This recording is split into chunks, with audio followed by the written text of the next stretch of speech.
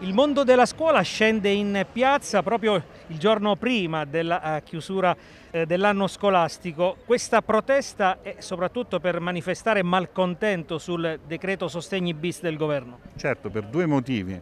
Una di metodo, era stato firmato, appena firmato il patto per la scuola, quindi l'intento di lavorare insieme, dialogando per trovare le soluzioni ai, ai, tanti problemi della scuola.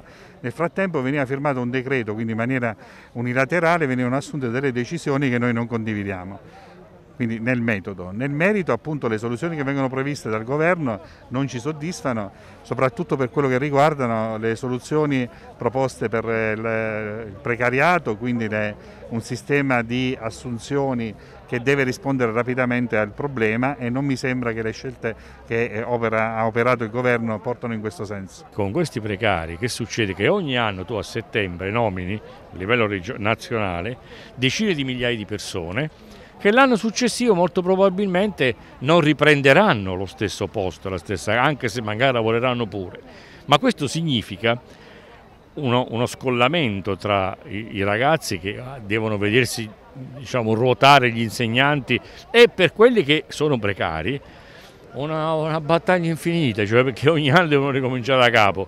Allora noi diciamo, ma scusate, chi sul campo ha un titolo di studio, ha fatto tre, almeno tre anni, facciamo un'operazione straordinaria di missione in ruolo.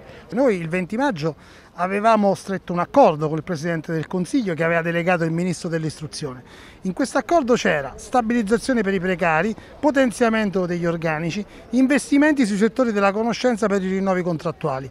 Bisogna cominciare dal primo punto e già ad oggi vediamo che questi impegni non vengono rispettati.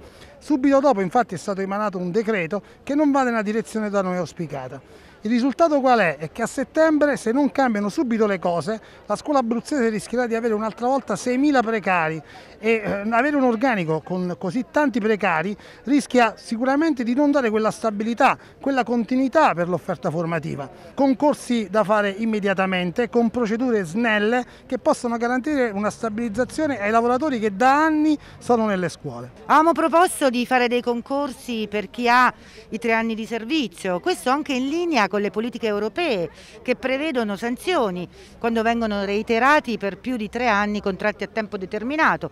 Abbiamo parlato di stabilizzare quegli stessi, quegli stessi docenti, quel personale che comunque viene a lavorare ogni anno, che fa partire le nostre scuole e che le chiude. Quindi non si trattava di sanatoria ma di dare dignità al loro lavoro. Noi siamo qui anche e soprattutto affinché si possano utilizzare le GPS, le graduatorie provinciali sul, per le supplenze eh, per le immissioni in ruolo, quindi il ripristino del doppio canale di reclutamento. La scuola italiana ha bisogno di eh, insegnanti in cattedra già dall'inizio di settembre, ha bisogno di classi che con eh, un numero di alunni inferiore alle 15 unità, ha bisogno di eh, continuità, di continuità didattica e ha bisogno che chi è stato assunto fuori regione possa avere quantomeno la speranza nel breve periodo di tornare a casa dai propri familiari.